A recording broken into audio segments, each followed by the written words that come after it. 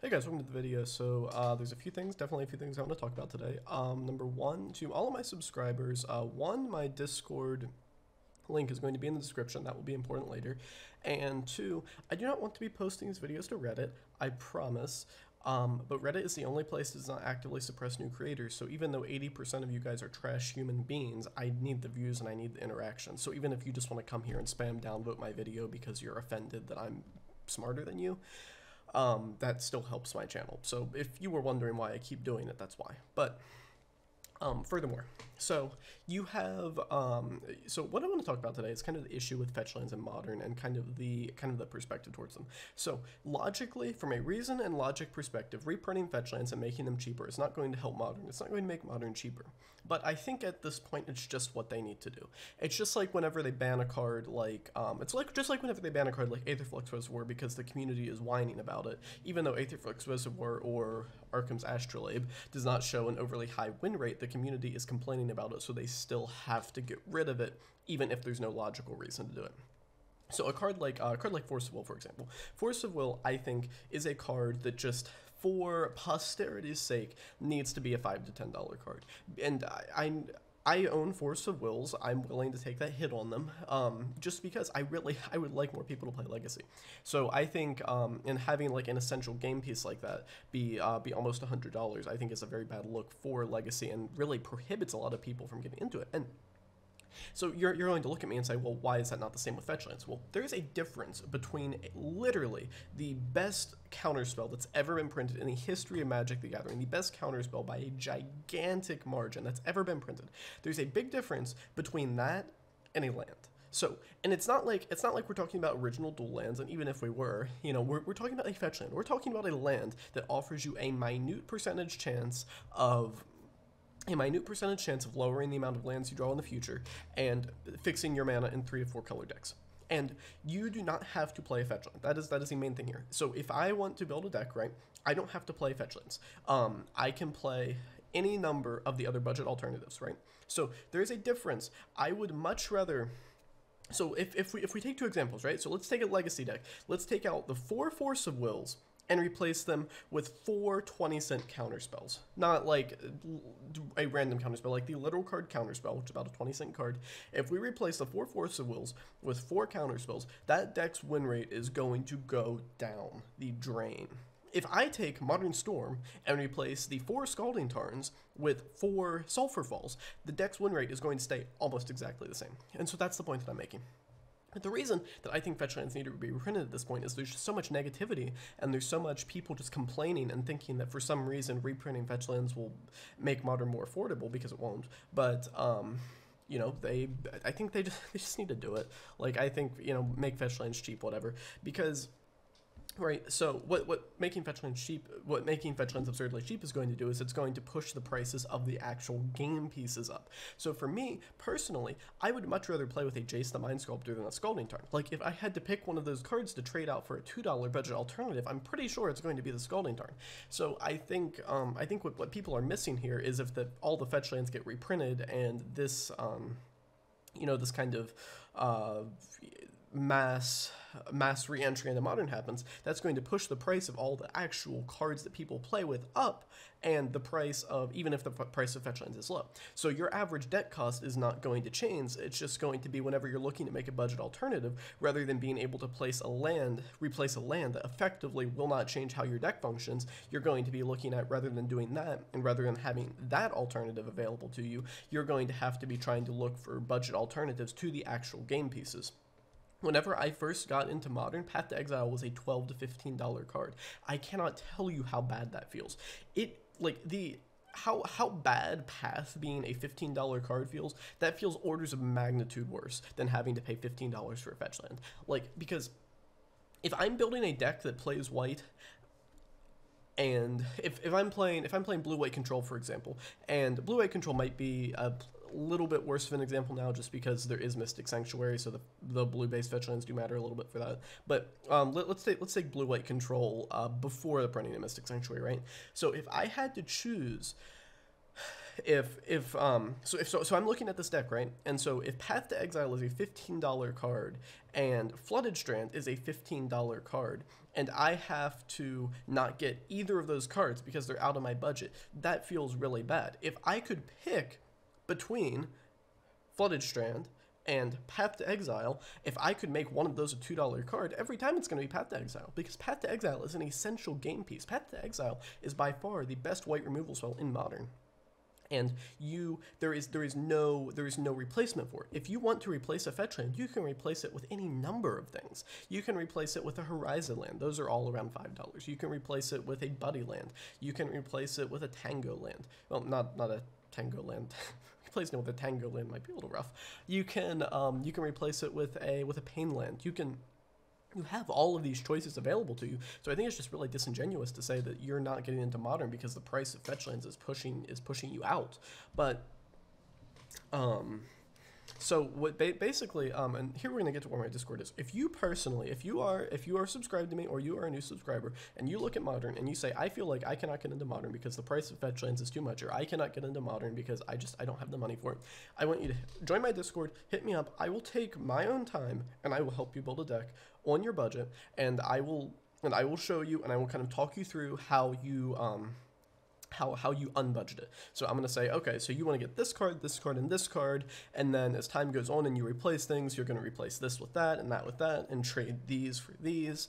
And I'm going to and, and I will take my own time and I will walk you through that because I think I think it's really bad that all the negativity online makes people feel like they can't play modern. You should not look at a modern deck and think, man, I can't afford fetchland, so I can't play. That's absurd. Like what? I played modern for a year and a half without fetchlands, and you know why? Because I I was playing modern in the time before there was. I mean, it, it still existed, but I was playing modern and I wasn't listening to all the negativity on the internet, and I wasn't listening to the to the brainlets on Reddit and all these people saying saying like, oh, you absolutely need to be playing the tier one deck to have fun in modern because that's just not the case. It's just not.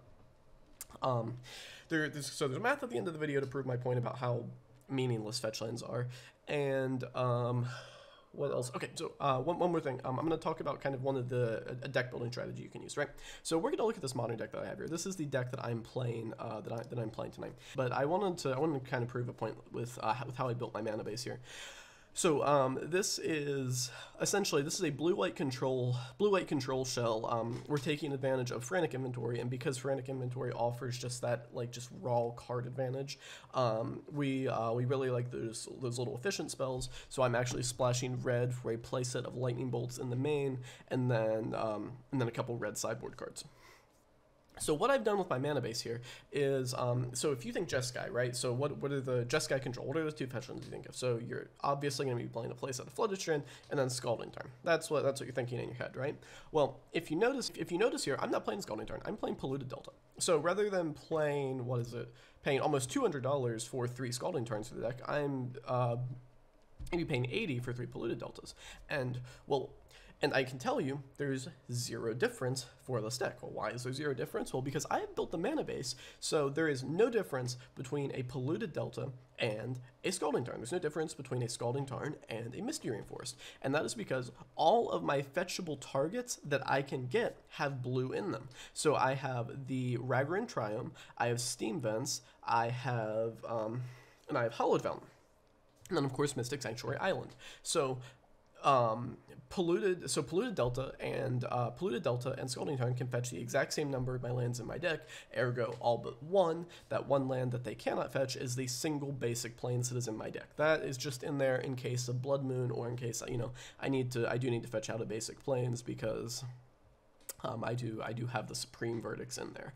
Um, so I've also uh, made a concerted effort to build my mana base in um, kind of kind of a smart way. So I I'm not playing any double red cards, which which lets me get away with only having two actual red sources in the deck.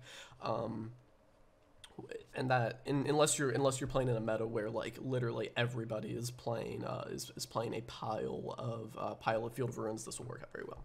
But um, anyway, uh, that being said, I just want to kind of show you like how you can kind of think about and design your mana bases like intelligently. But and then I'm going to show you the math on how pointless fetch lands are in general. And keep in mind, this does not actually apply to control decks because Mystic Sanctuary is a stupid card and Mystic Sanctuary helps fetch lands along. But any deck that's not a control deck. There you go. So I found a calculator that has um, has parentheses that it lets me use, which is uh, which is important for the numbers that we're doing. So uh, we're gonna set this up. You have a 60 card deck, 24 lands. You've drawn a seven card hand. There are three lands in that hand. All of them are non-fetch land lands. So from that point, um, and we're, we're gonna do, we're gonna go over the first three turns. So you make a land drop each turn. So um, there are 53 cards left in your deck, and then 21 of them, are, and then 21 of them are 21 of them are lands. So um, it's going to be parentheses 21. Where's my divide? Here we go. Divided by 53. Oops, I need to close the parentheses. Uh, 21 divided by 53 plus 20 divided by 52. Close the print. Oops, I closed the wrong parentheses. Oh, Lord. Oh, Lord. There we go. Um, plus parentheses 19 divided by 51. And if I've done this.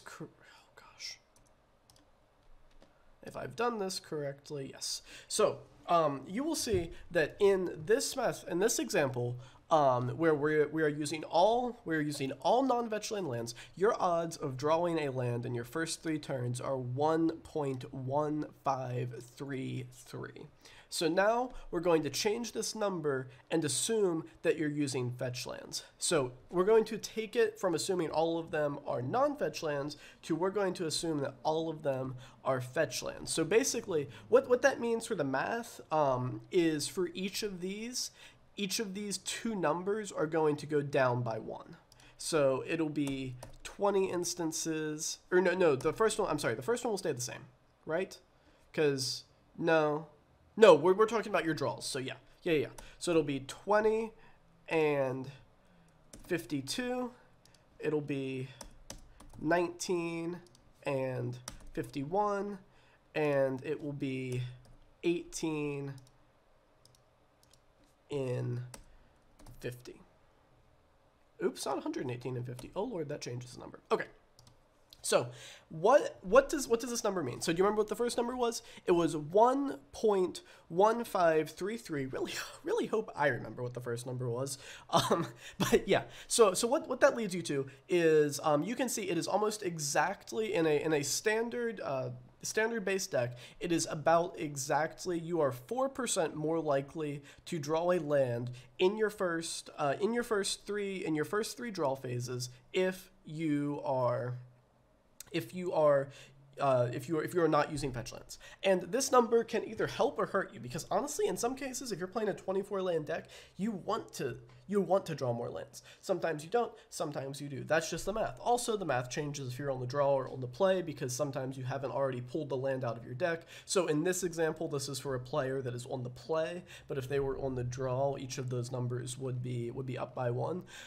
Um, if, if you take a more reasonable example, which is assuming like one of the lands is like a fast land, and then you have two shocks, um, or two fetches rather, so that would be something like this. So in in a reasonable hand, in a hand where you have like the normal the normal distribution of, of regular lands and fetch lands and pretty much any modern mana base, your odds of drawing a land are going to be about one point one three in your first three draw phases. If you are using non-fetch lands, that number jumps up to about 1.15.